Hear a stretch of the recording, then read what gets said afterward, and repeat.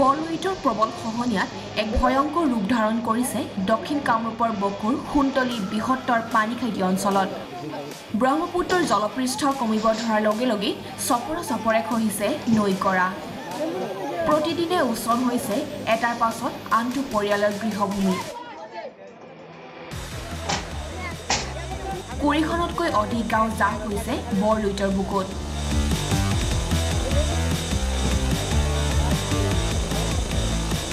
ইয়াৰ উপৰি জাহ হৈছে কোটিটকীয়া স্বাস্থ্যকেন্দ্ৰকে ধৰি বহুকেইখন চৰকাৰী শিক্ষানুষ্ঠান আৰু বৃহত্তৰ পানীখাইটি দৈনিক বজাৰখন। ইমানৰ পাছতো কুম্ভকৰ্ণৰ ভূমিকাত চৰকাৰ কিম্বা জনপ্ৰতিনিধি। হয়তো অচিৰেই গৰাখহনীয়া প্ৰতিৰোধৰ ব্যৱস্থা নকৰিলে অসমৰ মানচিত্ৰৰ পৰা নাইকিয়া হ'ব বৃহত্তৰ সোণতলী মাহতলী অঞ্চল।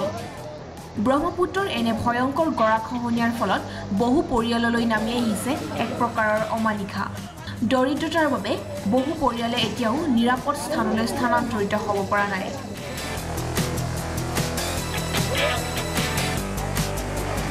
এতিয়া প্ৰশ্ন হ'ল বৰলুইতৰ এনে ভয়ংকৰ খহনীয়া প্ৰতিৰোধ কৰিবলৈ কিবা ব্যৱস্থা গ্ৰহণ কৰিবনে চৰকাৰ কিম্বা জনপ্ৰতিনিধিয়ে?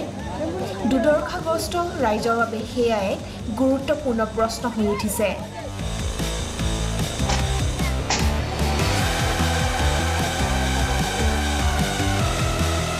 বকৰ পৰা চন্দন মজুমদাৰ ৰিপৰ্ট প্ৰাগ ডিজিটেল।